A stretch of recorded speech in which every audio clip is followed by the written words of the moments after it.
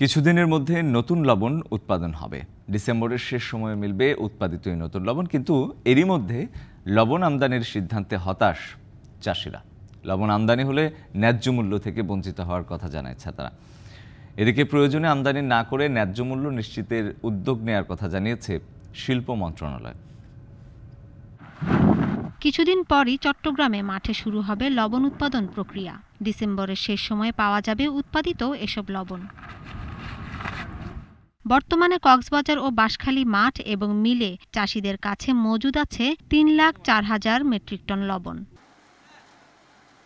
কিন্তু তিন লাখ ষোলো হাজার মেট্রিক টন লবণ আমদানির প্রাথমিক সিদ্ধান্তে হতাশ চাষিরা। ন্যায্য মূল্য না পাওয়ার পাশাপাশি লোকসানের কথা জানায় তারা।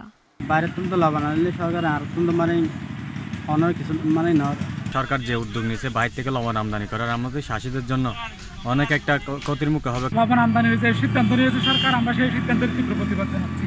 সরকারের এ সিদ্ধান্তকে হটকারী বলছেন চাষি এবং জনপ্রতিনিধিরা।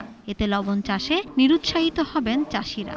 এই সিদ্ধান্তটা গত আর্থিক বছরে জুন জুলাইতে এটা নেওয়া উচিত ছিল। এটার জন্য চাষিরা খুব দুঃখ প্রকাশ করতেছে। দশ পনেরো দিনের মধ্যে পূর্ণ উদ্যমে ডিসেম্বর মাসের শেষের দিকে পূর্ণ উদ্যমে লবণ উৎপাদন শুরু হয়ে যাবে। সুতরাং লবণ মিলারদের লবণ প্রাপ্তির ক্ষেত্রে আর কোনো অসুবিধা হবে না। সুতরাং আমদানির আর প্রয়োজন আছে বলে এই মুহূর্তে আমরা মনে করছি না।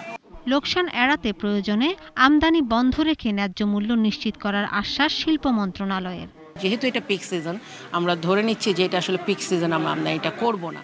যাতে আমাদের চাষিরা ন্যায্য মূল্য পায়, সে ব্যাপারটা আমরা আগে সব প্রথমে আমরা প্রায়োরিটি বেসিসে তাদেরটা নিশ্চিত করব। পরে যদি সত্যিকার অর্থে কোনো ক্রাইসিস তৈরি হয়, একান্তই যদি জরুরি হয়, তখন আমরা করব।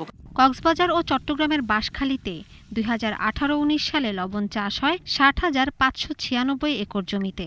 চাহিদা ছিল ষোলো লাখ সাতান্ন হাজার মেট্রিক টন। কিন্তু দুই হাজার একুশ সালে এসে জমির পরিমাণ কমে দাঁড়িয়েছে চুয়ান্ন হাজার ছয়শো চৌষট্টি একর।